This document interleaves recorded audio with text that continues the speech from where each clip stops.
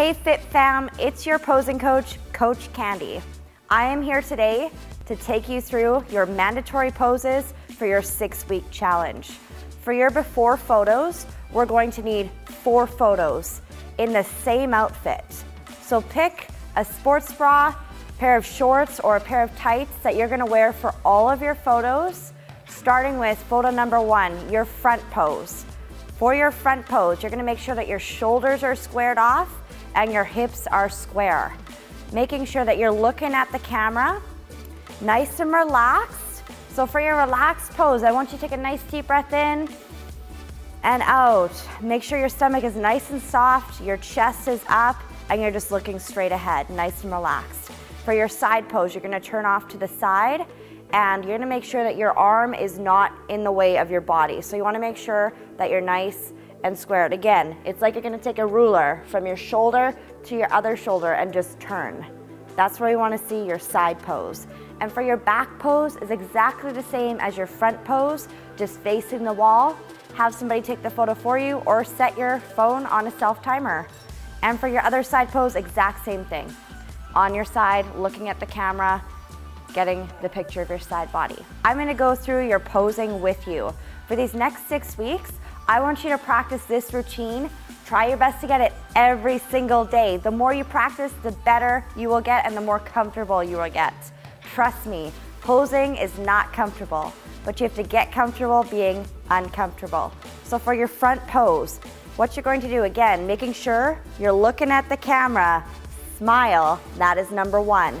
Your shoulders are going to stay square. You're gonna place your weight on your most comfortable hip. So if you're used to standing more on your right leg, place your weight on your right leg. Making sure again, shoulders are square, hips are square. Take a nice deep breath in, nice relaxed stomach, exhale out, and shift that weight to one leg. Make sure your knees are not locked, and rock that smile with confidence.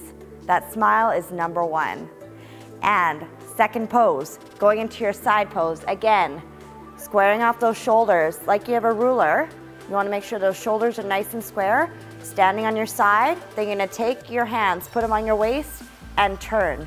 If you'd like to, you can do a relaxed hand here or have it on your waist. Making sure your fingers stay nice and closed, that way you're not pinching any excess fat. And your legs, no locking out those knees. Let's put a flare on it, get that knee up. For your back pose, you have two options. Ladies, you can place your hands behind your head and flare out your elbows to squeeze those shoulder blades together to see that muscle and stick that booty out just a little bit. We wanna see what you're working for. And don't lock those knees. We wanna see those leg muscles. Men, you don't need to do that pose. You're gonna just stick with the same as your front pose. You're gonna take it into your back pose. Working on that lat spread. For your lats, what you wanna do is stick your chest up Take your hands, put them on your waist, shrug up, roll those shoulders back, and bring those elbows out. Let your arm out to the side. That's where you're going to get that back muscle definition. And for your other side pose, exact same. So just take it from your left side to your right side. Practice, practice, practice. I can't preach that enough. Let's get comfortable with that posing. Six week challengers, I am ready for you. We will see you soon.